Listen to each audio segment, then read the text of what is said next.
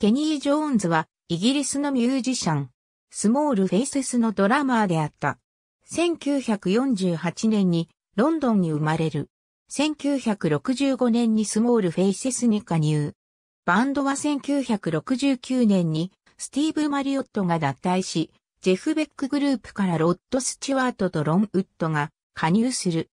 ワーナー・ブラザースはスモール・フェイセスの名前を残すことを要求し、アルバムファーストステップはスモールフェイセス名義で発表されるが、間もなくフェイセズと改名する。ジョーンズはフェイセズで5枚のアルバムをレコーディングし、1976年の解散までバンドに残った。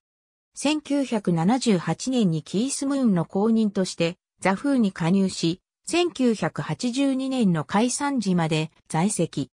その後も1985年のライブエイドなど一時的な再結成に参加したが、1989年以降は参加しておらず実質脱退となった。ジョーンズは元バッドカンパニーのボーカリスト、ポール・ロジャースと共に1990年代初めに、ローというバンドを結成した。その後は多くのレコーディングセッションに参加。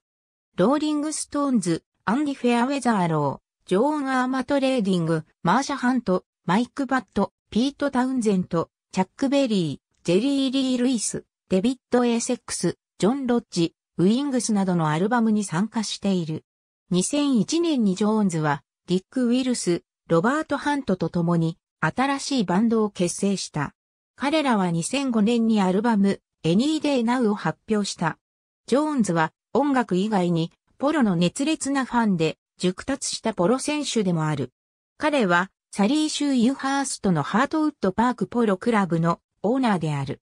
ジョーンズはスモールフェイセスを代表して1999年に児童チャリティ、スモールフェイセス慈善信託を設立した。